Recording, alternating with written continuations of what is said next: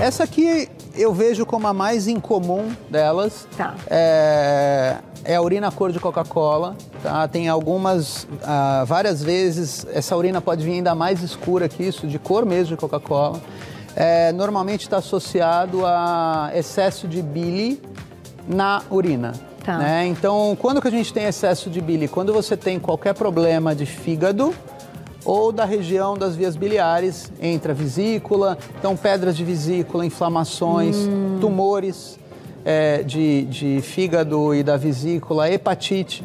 Tá. Então, pacientes com hepatite agora, em janeiro, o pessoal vai para a praia, tem aquela virose intestinal, Ah. é, com vômito, com diarreia, hepatite A, que é a mais comum Tá. nessa situação de contaminação. O paciente fica amarelinho, a bile dele sobe, E a urina? o rim filtra, joga na urina. é, e nas situações que o paciente está obstruído, a gente tem outro sintoma que é as fezes ficam brancas. Então, Perfeito. fezes brancas com urina dessa cor é, vai atrás de problema no, no fígado que pode acontecer uma bela surpresa aí.